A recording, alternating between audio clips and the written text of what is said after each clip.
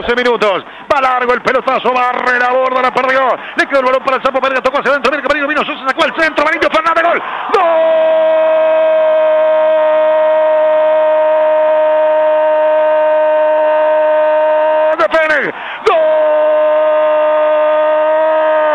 La armó el Sapo Pereira. Sacó el centro y el Indio Fernández, que es un volante que pisa el área, entró solo. Le pegó contra el vertical izquierdo. A los 12 minutos y medio de este segundo tiempo. Le pegó abajo. La pelota se metió contra el vertical zurdo. Durmió al fondo del arco. Revive el ave Fénix el Maldonado. El Indio Fernández está ganando el de Capurro. Fútbol a sol y sombra llegando a todo el país y el mundo. Insólito con el trámite del partido, el gol marca mal Nacional, reclama una falta. No sé si hay revisión del VAR, gana Fénix y esto va a obligar a Nacional a algunos cambios. El técnico de Nacional, caprichoso como siempre, demorado con los cambios.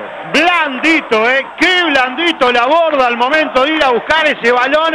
Qué oportuno Fénix, qué bien que terminó marcando en esa pelota para recuperar un balón ahí cercano al área. De las pelotas esas que tanto le hablé del primer tiempo que Fénix, que podía ganar y que no podía llegar nunca a definir en el partido. La movió muy bien por izquierda y en el segundo palo apareció él.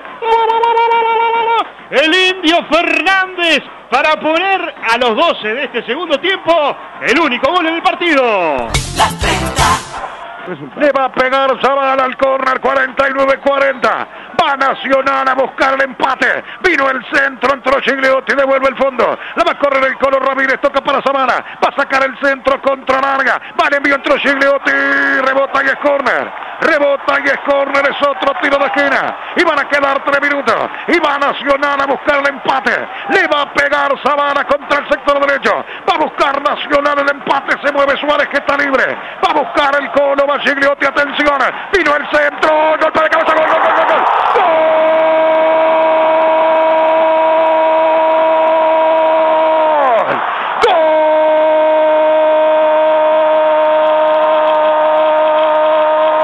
Gol de Nacional, Jonathan Rodríguez. De Nacional, Jonathan Rodríguez.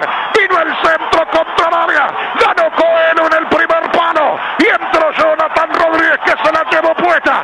Se la llevó puesta para tocarla al fondo del arco. Creo que Coelho careció y la terminó metiendo él. Cuando Nacional empujaba, cuando revoleaba el poncho, cuando le tiraba la camiseta arriba a Fénix. El centro contra Vargas. Y apareció Coelho que tiene un corazón enorme. Que metió el frentazo.